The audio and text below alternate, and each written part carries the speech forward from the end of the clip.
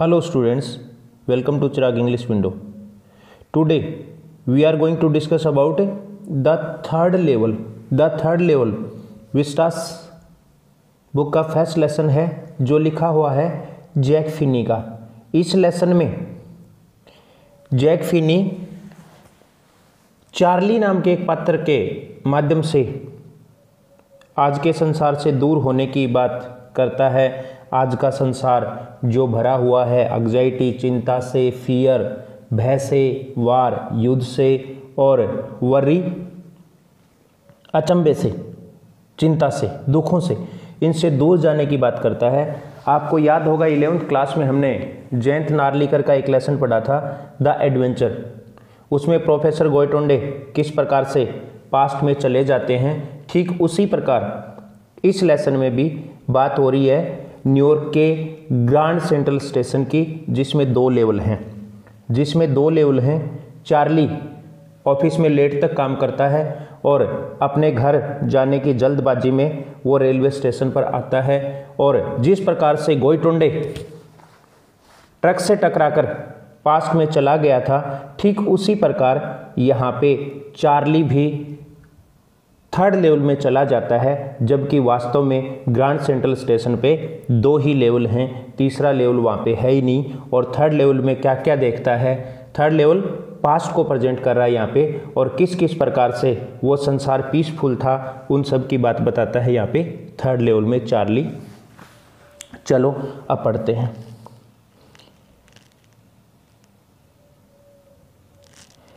Have you ever had any curious experience had ever had कभी हुआ है?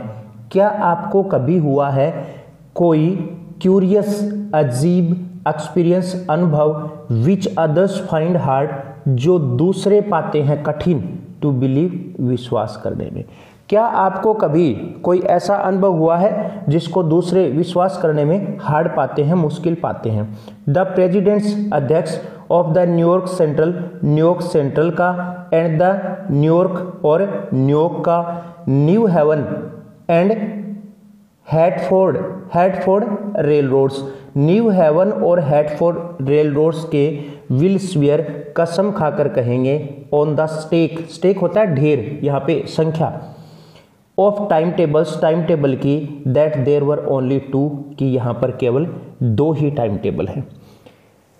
Narrator क्या कह रहा है? कि इन तीनों जगहों के प्रेसिडेंट कौन कौन सी जगह के न्यूयॉर्क सेंट्रल के न्यूयॉर्क के, और New Haven and Hartford railroads के कसम खाकर कहेंगे कि यहाँ पर दो ही समय सारणी हैं। बट आई से परंतु मैं कहता हूँ देर आर थ्री कि यहाँ पर तीन समय सारणी है, तीन टाइम टेबल हैं। बिकॉज़ आई हैव बीन क्योंकि मैं जाकर आया हूँ ऑन द थर्ड लेवल तीसरे लेवल पर of Grand Central Station Grand Central Station के। देखो यहाँ पे लेवल दो ही हैं। लेवल दो ही हैं। राइटर क्या होता है? इमेजिनेशन में तीसरे लेवल पे चला जाता है। इसलिए वो कह रहा है कि ये लोग कसम खाकर कहेंगे कि यहाँ पे दो ही टाइम टेबल हैं। लेकिन मैं कहूँगा यहाँ पे तीन हैं। क्यों? क्योंकि मैं यहाँ पर जाकर आया हूँ। आई से देर आर थ्री मैं कहूँगा कि तीन टाइम टेबल हैं। Because I have been on the third level क्योंकि मैं जाकर आया हूँ तीसरे लेवल पर of the Grand Central Station Grand Central Station के। Yes I have taken the obvious step हाँ मैंने उठाया है स्पष्ट कदम ओबियस स्पष्ट clear step Kadam. I talked to a psychiatrist friend of mind और मैंने बात भी की है मेरे एक साइकेट्रिस्ट साइकेट्रिस्ट होता, मनोचिकित्सक फ्रेंड मित्र से ऑफ़ माइंड मेरे अमंग अदर्स दूसरों के साथ साथ। नरेटर यहाँ पे कह रहा है चार्ली यहाँ पे कह रहा है कि मैंने इस मैटर पे मेरे मित्र से भी बात की है और अन्य से भी बात की है, मित्र कौन है इसका? मनोचिकित्सक है। आई टोल्ड हिम मैंने उसे बताया अबाउट द थर्ड लेवल तीसरे लेवल के बारे में एट ग्रांड सेंट्रल स्टेशन जो ग्रांड सेंट्रल स्टेशन पर है। एंड ही सैड और उसने बताया it was a waking dream waking dream होता है जगते हुए सौपन लेना विश फुलफिलमेंट पूरा होने के बराबर। उसने कहा, यह एक जगते हुए सौपन लेने के, पूरा होने के बराबर है।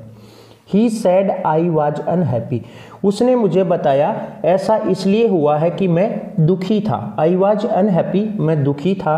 That made my wife a kind of mad जिससे मेरी पत्नी एक बार पागल सी हो गई थी। उसने बताया कि मैं दुखी था। अब पत्नी सोचती है, दुखी क्यों था? इस बात पे वो एक प्रकार से मैड की तरह हो जाती है पागल सी हो जाती है। बट ही एक्सप्लेन परंतु उसने बताया दैट ही मींट कि उसका मतलब है the race modern world is कि आधुनिक संसार फुल ऑफ़ भरा हुआ है। इनसिक्योरिटी असुरक्षा से फियर भय से वार युद्ध से वर्री चिंता से। चार शब्द।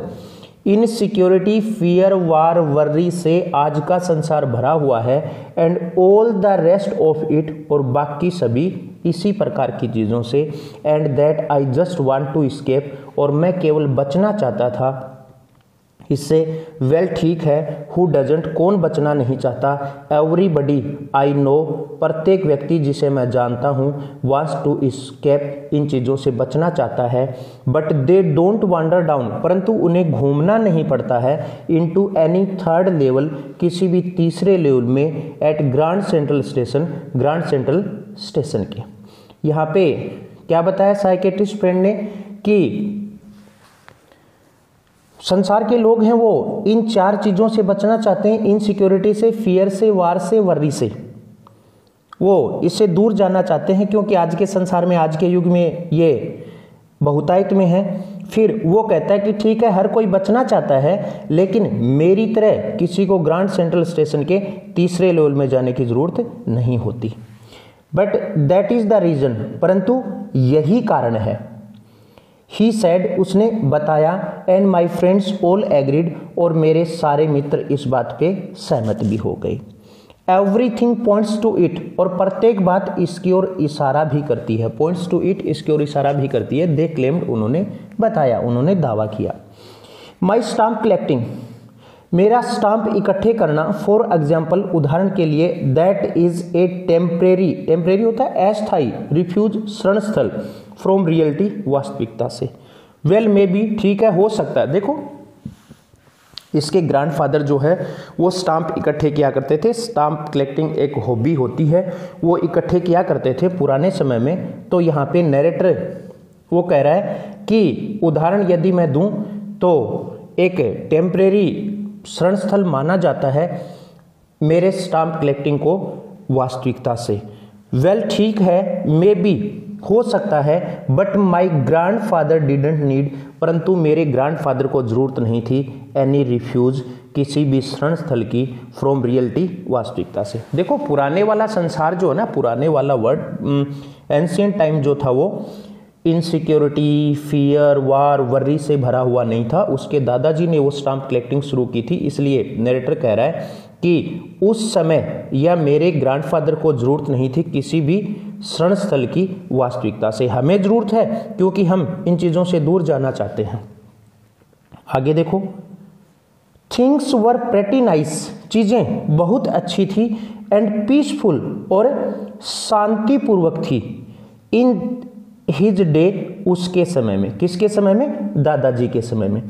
फ्रॉम ऑल आई हियर मैंने जो कुछ सुना है मैंने जहाँ तक सुना है, उनके समय में चीज़ें अच्छी थी, समय अच्छा था। एंड ही स्टार्टेड और उसने शुरू कर दिया था माई कलेक्शन यह है मेरा संग्रह। देखो स्टाम्प कलेक्टिंग उसके दादाजी ने किया, फिर उसके फादर ने किया और अब नरेटर कर रहा है। स्टाम्प कलेक्टिंग क्या होता है?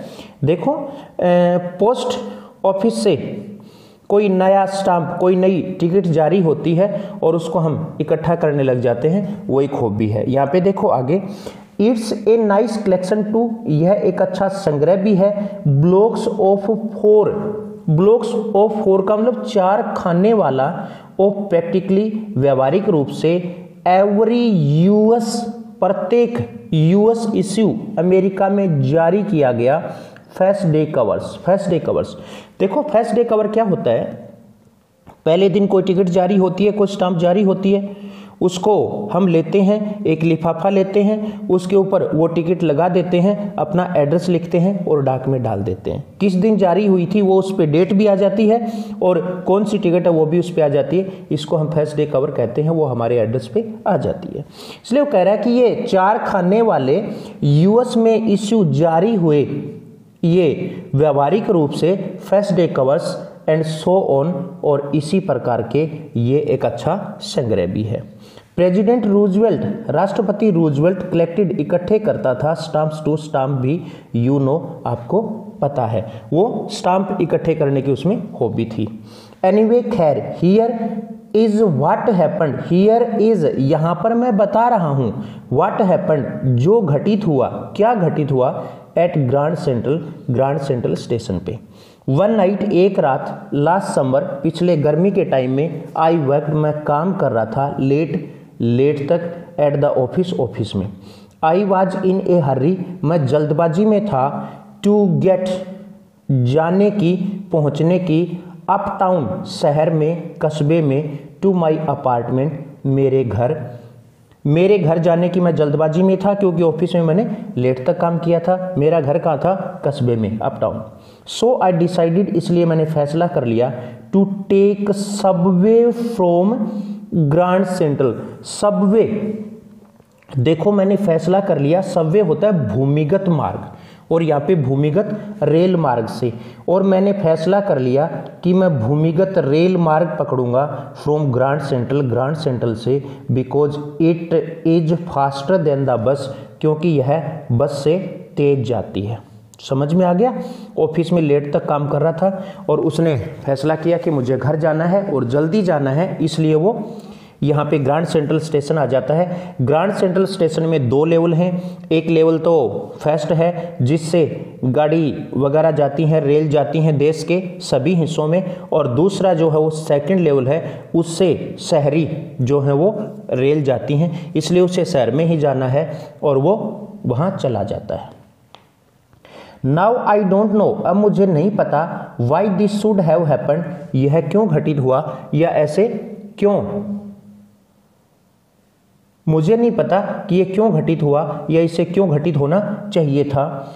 मेरे साथ I am just an ordinary guy guy होता है व्यक्ति। ऑर्डिनरी सामान्य। मैं एक सामान्य व्यक्ति हूँ। नेम्ड चार्ली और मेरा नाम चार्ली है। थर्टी वन ईयर्स ओल्ड मैं इकतीस साल का हूँ। एंड आई वॉज़ वियरिंग और मैं पहने हुए था ए टेन टेन होता है भूरे कलर का ब्राउन गैबरडाइन गैबरडाइन एक पदार्थ होता है, एक चीज़ होती है जिससे बना हुआ होता है। मैं पहने हुए था भूरे कलर के गैबरडाइन के बने हुए सूट, कपड़े एंड एस्ट्रा और एक तिनके की हैट टोपी विद ए फैंसी बैंड एक सुंदर मोड वाली फैंसी सुंदर बैंड मोड वाली। I passed a dozen man मैं गुजरा दर्जनों व्यक्तियों के पास से हु लुकड जो लग रहे थे जस्ट लाइक मी मेरे जैसे and I wasn't trying to escape from anything और यहाँ मैं कोशिश नहीं कर रहा था स्केप बचने की फ्रॉम एनीथिंग किसी भी चीज़ से। I just wanted to get home मैं चाहता था टू गेट जाना। होम घर to Louisa my wife Louisa मेरी पत्नी के पास। नेक्स्ट देखते हैं। I turn into Grand Central मैं ग्रांड सेंट्रल की ओर मुड़ा फ्रॉम वंडरबिल्ट एवेन्यू एवेन्यू ये वंडरबिल्ट जगह है। एवेन्यू मार्ग, रास्ते से। वो कह रहा है, मैं ग्रांड सेंट्रल की ओर जाने के लिए मुड़ा वंडर बिल्ट एवेन्यू से, and went down the steps और नीचे गया सीढ़ियों से to the first level first level की। फ़र्स्ट लेवल से नहीं जाना था उसको। शहरी क्षेत्र की गाड़ियों में जाना था, जो सेकंड लेवल से गुजरती हैं, इसलिए वो फ़र्स्ट लेवल से नीचे सीढ़ियों में उतरा। वेर यू टेक देखो फ़र्स्ट लेवल पे क्या होता है? वेर यू टेक जहाँ से आप ले सकते हो ट्रेन्स गाड़ियाँ लाइक द ट्वेंटी सेंचुरी बीसवीं सदी वाली। देन आई वॉक डाउन तब मैं नीचे चल कर गया अनदर फ़्लाइट फ़्लाइट होता है जीना, काफ़ी सीढ़ियाँ। To the second level second level पर। तब मैं सीढ़ियों से चलते हुए सेकेंड लेवल पे गया where the suburban trains जहाँ पर शहरी क्षेत्र की गाड़ियाँ चलती हैं। सबर्बन का मतलब यहाँ पे उपनगरीय। ट्रेन्स लीव गाड़ियाँ चलती हैं फ्रॉम वहाँ से। Ducked into ducked into ducked into का मतलब सिर झुकाकर गया। इनटू में एन आग्ड, एक धनुष के आकार के। डोरवे गेट में या चौखट से। हेडिंग फॉर द सबवे और जो जा रहा था सबवे की ओर सबवे उप रस्ते की ओर एंड गोट लॉस्ट और वहाँ पर मैं खो गया। वो कह रहा है, मैं एक धनुष के आकार के उस गेट में घुसा और वहाँ पर मैं खो गया। मीन्स मुझे नहीं पता आगे किस किस प्रकार के रास्ता है मीन्स, में रास्ता मिस हो गया। That is easy to do ऐसा मेरे साथ होना आसान भी है। क्यों? I have been in and out I have been in मैं अंदर गया हूँ एंड आउट और बाहर आया हूँ। Of Grand Central Grand Central Station से हंड्रेड्स ऑफ़ टाइम्स सैकड़ों बार। But I am always bumping into bumping into का मतलब टकराता रहता हूँ। परंतु मैं हमेशा टकराता रहता हूँ न्यू डोरवेज नए दरवाजों से एंड स्टेस और सीढ़ियों से एंड कॉरिडोर्स और बरामदों से। वंस अब वो बता रहा है एक बार उसके साथ क्या हुआ। वंस आई गोट इनटू एक बार मैं चला गया गोट इनटू चला गया ए ट्यूनल एक सुरंग में अबाउट ए माइल लॉन्ग जो लगभग एक मील लंबी थी एंड केम आउट और बाहर आ गया इन द लॉबी लॉबी में of Roosevelt Hotel Roosevelt Hotel की। एक बार वो वहाँ पे गया था और एक सुरंग में फंस गया और वो सुरंग कहाँ पर निकली? रूजवेल्ट होटल में। उसकी लॉबी में वो निकला जाकर। अनदर टाइम दूसरी बार आई केम अप एक और बार आई केम अप मैं आया इन एन ऑफ़िस बिल्डिंग एक ऑफ़िस वाली बिल्डिंग में ऑन फोर्टी सिक्स स्ट्रीट ये फोर्टी सिक्स स्ट्रीट छियालीस नंबर गली में थ्री ब्लॉक्स अवे तीन ब्लॉक दूर। समटाइम्स आई थिंक कई बार मैं सोचता हूँ। अब देखो, वो अलग अलग रस्तों में भटक जाता है वहाँ पे, उसके साथ आमतौर पर होता है तो क्या करता है वो? कई बार सोचता है। समटाइम्स आई थिंक कई बार मैं सोचता हूँ ग्रांड सेंट्रल इज़ ग्रोइंग कि ग्रांड सेंट्रल स्टेशन जो हो, बढ़ रही है लाइक ए ट्री एक पेड़ की तरह। यहाँ पे सिमली का यूज़ किया, वो बता रहे कि ग्रांड सेंट्रल स्टेशन एक पेड़ की तरह बढ़ रही है। मुझे ऐसा लग रहा है। पुशिंग आउट जिसमें निकल रहे हैं पुशिंग आउट जिसके फैलते जा रहे हैं, जिसमें निकल रहे हैं न्यू कॉरिडोर्स नए बरामदे एंड स्टेयर केसेज जिन्हें सीढ़ियाँ लाइक रूट्स जड़ों की तरह। आगे चलते हैं।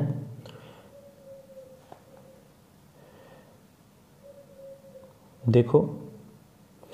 There is probably a long tunnel वो बता रहा है कि संभवतः वहाँ पर एक लंगी, लंबी सुरंग है लॉन्ग लंबी ट्यूनल सुरंग। संभवतः यहाँ पे एक लंबी सुरंग है दैट नो बडी नोज़ जिसे कोई नहीं जानता अबाउट फीलिंग इट्स वे कि इसके रास्ते को अनुभव करे under the city right now शहर के नीचे से। वो कह रहा है, शहर के नीचे से इसके रास्ते को शायद कोई नहीं जानता राइट नाउ अब। On its way to Times Square इसका रास्ता निकलता है टाइम स्क्वेयर जगह है ये एंड मे बी अनदर और हो सकता है इसका दूसरा रास्ता जाता हो सेंट्रल पार्क सेंट्रल पार्क की ओर। एंड मे बी और हो सकता है because for so many people through the years और हो सकता है सो मैनी पीपल बहुत सारे लोगों के लिए और हो सकता है बहुत सारे लोगों के लिए थ्रू द ईयर्स सालों से ग्रांड सेंट्रल यह Grand Central Station has been an exit exit होता है निकलने वाला द्वार। रहा हो एक निकलने वाला द्वार, निकास द्वार ए वे ऑफ़ स्केप बचने का एक तरीका, बचने का एक रास्ता। किससे बचने का? किससे बचने का? इनसिक्योरिटी फियर वार और वर्री से।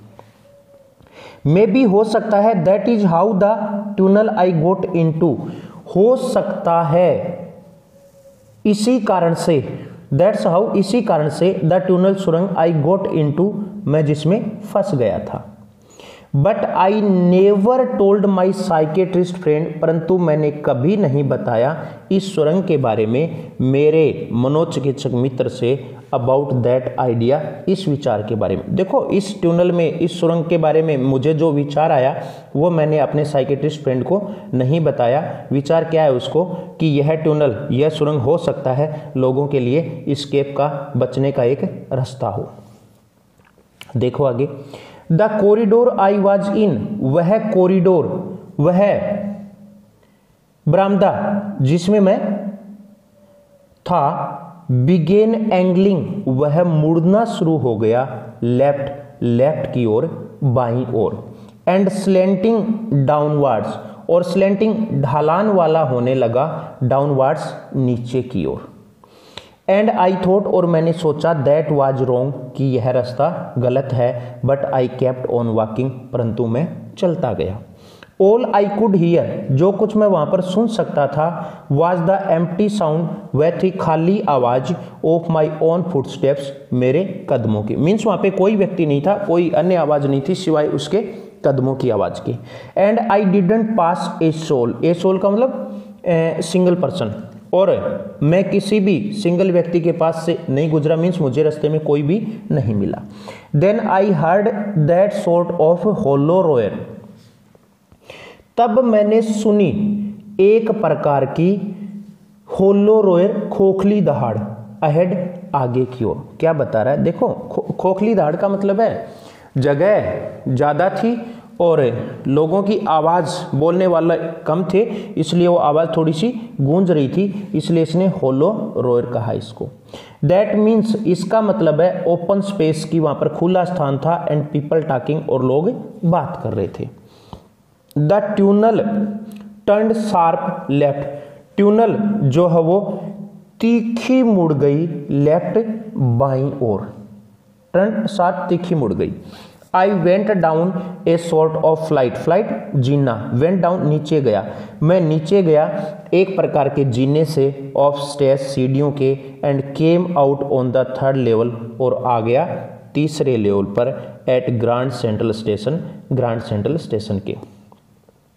मैं फिर बता रहा हूँ, ग्रांड सेंट्रल स्टेशन पे कोई तीसरा लेवल नहीं है। यहाँ पे सिर्फ़ चार्ली की इमेजिनेशन है, चार्ली की कल्पना है और कल्पना में ही वो तीसरे लेवल पे चला जाता है। फॉर जस्ट ए मोमेंट एक पल के लिए आई थॉट मैंने सोचा आई वॉज़ बैक कि मैं वापस आ गया on the second level second level पर। वो भटकता हुआ, घूमता हुआ, तीसरे लेवल पे आ जाता है और यहाँ पे वो बता रहा है, मैंने एक बार सोचा कि मैं दूसरे लेवल पे आ गया हूँ सेकेंड लेवल पे आ गया हूँ बट आई सा परंतु मैंने देखा the room was smaller room छोटा था। अब कैसे वो दूसरा लेवल नहीं था, चार्ली बता रहा है। वजह क्या थी? एक तो वहाँ पे रूम जो था वो छोटा था। There were fewer ticket windows fewer का मतलब कम। वहाँ पर टिकट विंडो जो थी वो कम थी। देखो, पुराने समय में रेलवे स्टेशन पे टिकट विंडो वगैरह कम हुआ करती थी क्योंकि यात्री कम आते जाते थे। भीड़ नहीं हुआ करती थी। आजकल ज़्यादा हो गई। इसलिए पुराने समय की बात कर रहा वो कह रहा है, वहाँ पे टिकट विंडो जो थी ना टिकट वाली जो खिड़की थी वो कम थी। एंड ट्रेन गेट्स और ट्रेन के दरवाजे भी कम थे जिससे गाड़ियाँ आती हैं। एंड द इंफॉर्मेशन बूथ और सूचना वाला बूथ बूथ का क्या मतलब है यहाँ पे? जहाँ पे हम इंफॉर्मेशन कलेक्ट करते हैं, वो जगह। सूचना वाला booth in the centre centre में वाज वुड लकड़ी का बना हुआ था एंड ओल्ड लुकिंग और पुराना दिख रहा था। And the man in the booth और बूथ में जो व्यक्ति बैठा था, वो वह पहने हुए था एक ग्रीन एक हरे रंग की आई सेड आई सेड का मतलब है यहाँ पे धूप का चश्मा। एक हरे रंग का धूप का चश्मा पहने हुए था एंड लोग लॉन्ग और पहने हुए था लंबे स्लीव, आस्तीन वाला प्रोटेक्टर्स प्रोटेक्टर्स होता है रक्षक कवच जिसको बोलते हैं, यहाँ पे आप कोट कह सकते हो। और एक लंबी आस्तीन वाला वो कोट पहने हुए था। द लाइट्स वर डिम वहाँ पे जो लाइट थी, वो डिम थी, धुंधली थी and sort of flickering flickering और एक प्रकार से टिमटिमा रही थी। देखो, आज के समय में लाइट जो है ना, वो इलेक्ट्रिक लाइट है। यहाँ पे पुराने समय की वो बता रहा है तो लाइट जो थी वो धुंधली थी और टिमटिमा रही थी। देन आई सा तब मैंने देखा वाई कि वे क्यों टिमटिमा रही हैं? दे वर ओपन फ्लेम वे खुली लो वाली थी ओपन खुली फ्लेम लो वाली गैस लाइट्स गैस से चलने वाली लाइट थी। आज की क्लास में इतना ही करते हैं। बचा हुआ लेसन जो है वो अपन सेकंड पार्ट में करेंगे। Thank you